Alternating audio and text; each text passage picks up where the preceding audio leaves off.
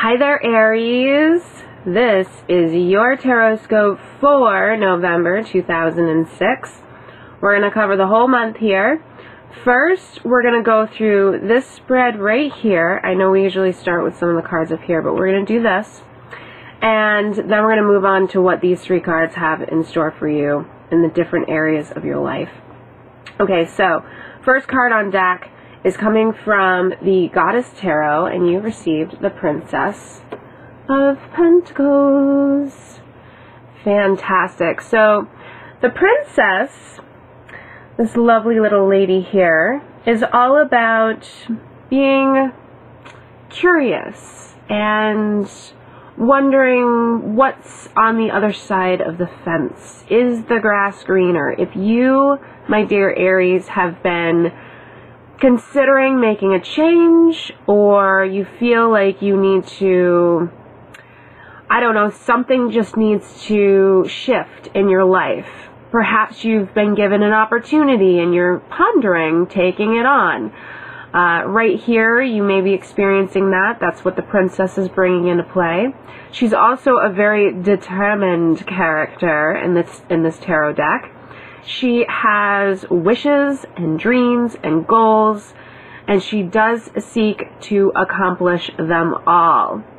Okay, so if what you have been given for an opportunity or if one arises in the month of November, this may turn on a little a little motivation switch for you. Okay, this may pique your interest and think, "Hmm, that might be the change that I've been yearning for." Okay, so very, very important card. I also want to point out that the princess may or may not be a man or a woman. Okay, this could be anybody in your life. This could also be you or an outside source. Uh, her uh, a, a sign, astrology sign, is an Aquarius. Okay, so this if this is part of your sun, not sun because you're Aries, I'm sorry, moon, ascending, any signs in that category, this is definitely a card for you, or this is somebody as an outside source with an Aquarius sign in their astrology makeup. Second card in is Transformation. Aha!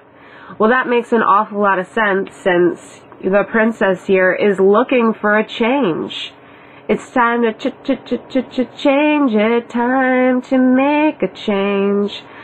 Okay, so obviously this is really right front and center, smack dab in your face, and saying that what needs to be moved around right now? What needs to be shifted?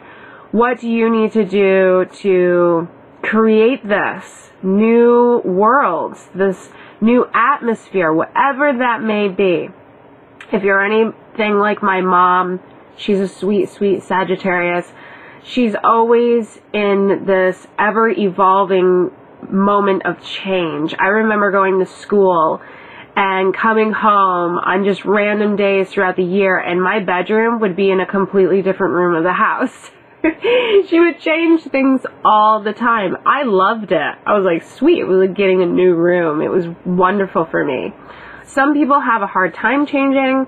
Um, if this is something that you struggle with, know that in the month of November, it may come a little bit more easier for you. Okay, so if the transformation needs to happen, if it is, you know, nudging you and poking at you, then you know that it has to it has to be made. Some choices have to be made, and a, and a change has to take place. Last card is the Prince of Pentacles. You've had the princess, and now here comes the prince. Once again, this could be a male or female. And the astrology sign is a Taurus or a Virgo.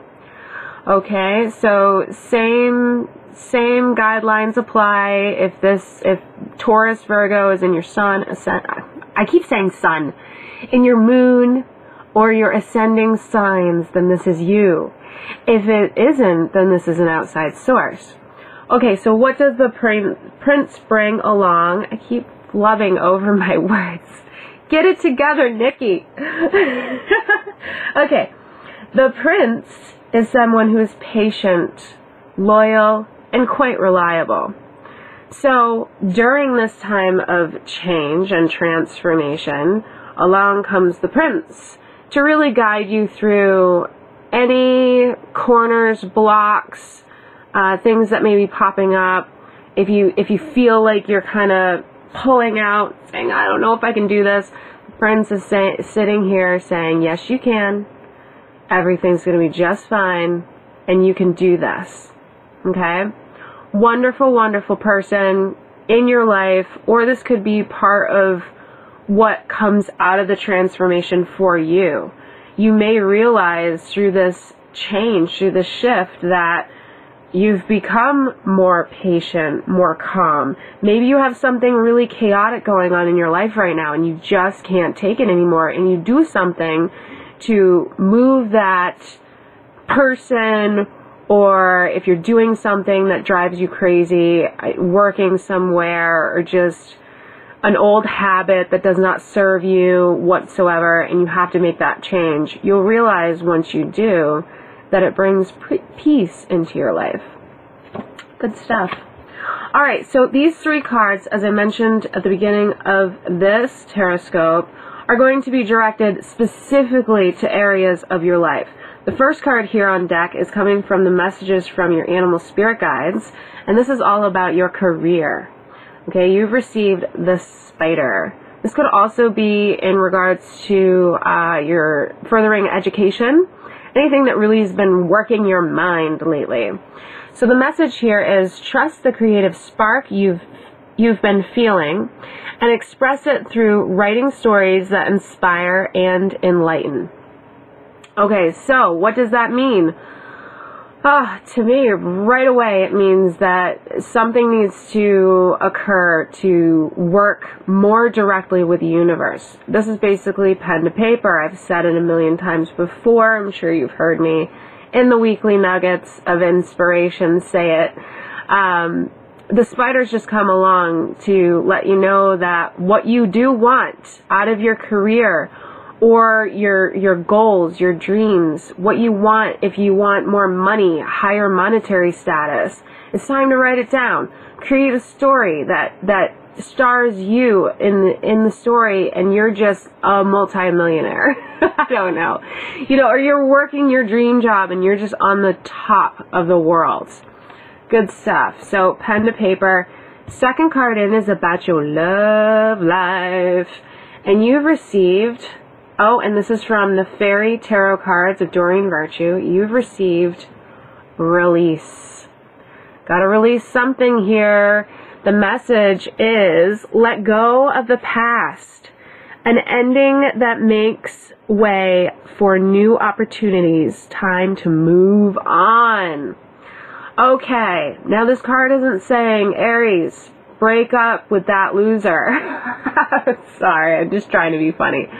Um, or maybe you are dating a loser. I don't know. Somebody that just brings you down, does not serve your higher purpose anymore, makes you, doesn't make you feel good. They're just, you've been together far too long and there's just no more spark left.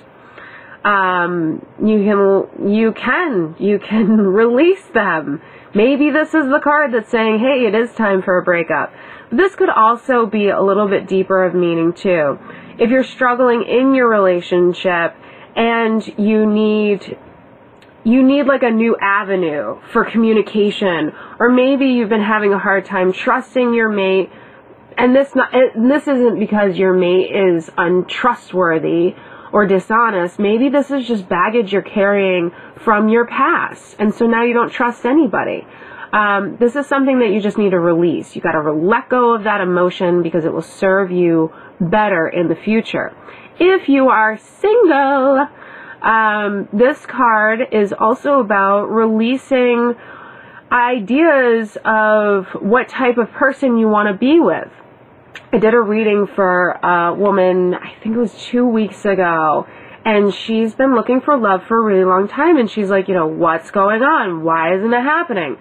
And I saw in her reading, and I got messages from my guides too, that it had to do with her expectations were above and beyond. You know, she literally wanted to date, you know, Superman. And I'm not saying that Superman isn't out there for her, but sometimes you would be so surprised that the people that you would never even bat an eye at or double take their way is the perfect mate for you.